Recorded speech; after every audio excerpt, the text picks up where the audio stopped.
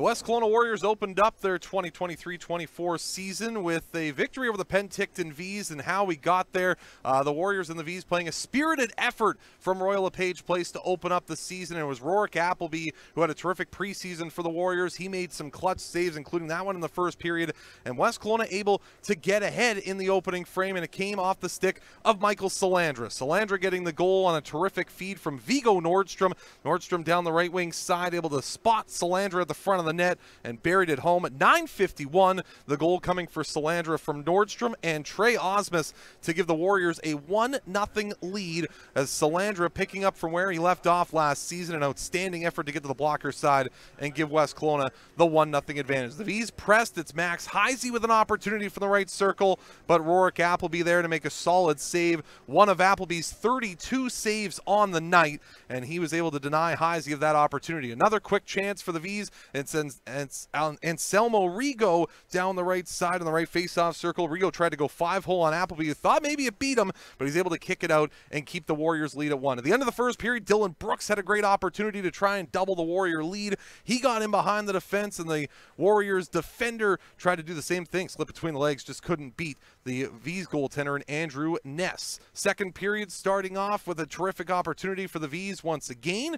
and it was another chance in front that Applebee was there to make another solid save, and the Warriors had their good look as well as it was Felix Caron across on the left side for Vigo Nordstrom, and an outstanding save by Andrew Ness. He came across on the blocker side, made a phenomenal stop, lost his glove in the process, but a big save there by Ness to keep the game one to nothing. The goaltenders were on display in this hockey game, but it, were the, it was the Vees who tied the game. That one coming at 6:13. Simone Meyer gets a feed from below the goal line from Connor McPherson, and he's able to fire it up and over the blocker side of Rorke Applebee. It's the first BCHL goal for Meyer, and that ties the game at one to one. Before the Warriors were back and trying to get their way to a lead once again, it's Felix Caron down the right wing side with a good look, but a blocker stop made by Andrew Ness before the Warriors got their first power play of the game, and they converted, and it comes out the stick of Johannes Løkkeberg, who's in front of the net, and he's able to deposit that one past Andrew Ness. It was Nordstrom from the left wing side who fired it across with a pass to the right circle for Caron.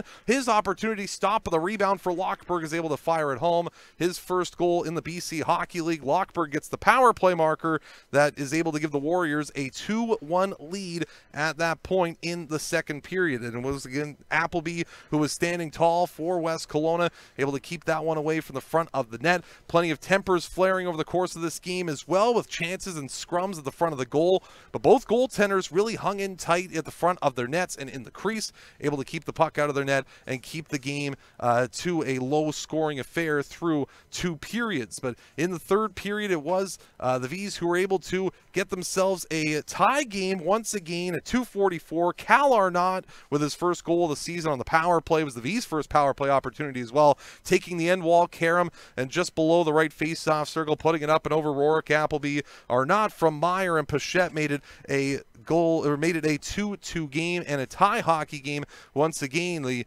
Vees trying to get the lead. Applebee standing in tall for that, and the Warriors back in with a great opportunity of their own as a good feed from Brennan Nelson for Michael Salandra going to the front of the net, redirected on, and a save made by the goaltender and Andrew Ness to keep that one out before the Warriors uh, were able to get their lead back again, and it came from Johannes Løkkeberg, his second goal of the game. Løkkeberg at 6-11, scoring from Landon Hilditch and also Brennan Nelson to put the Warriors ahead for the third time at a 3-2 score. Great turn and fire from the right face-off circle from Løkkeberg. But the Vees had an answer after that, as they had all night. It was Billy Renfrew at 8:22 from Francisco Delice and also Thomas Pochette as the puck went to the front of the net. Renfrew knocked it down.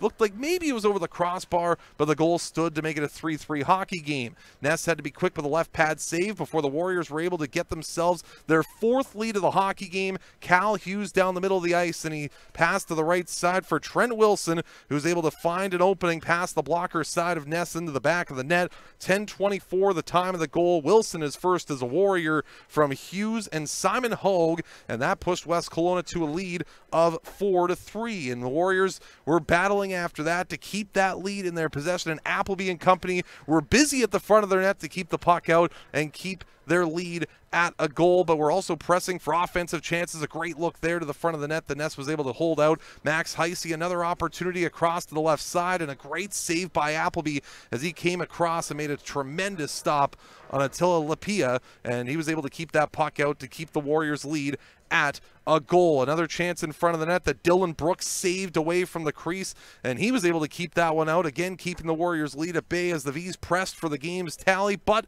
it's Cal Hughes who finished it off with an empty net goal, fighting underneath the Vees defender to push it into the back of the net at 1945 from Johannes Løkkeberg and Isaiah Norlin.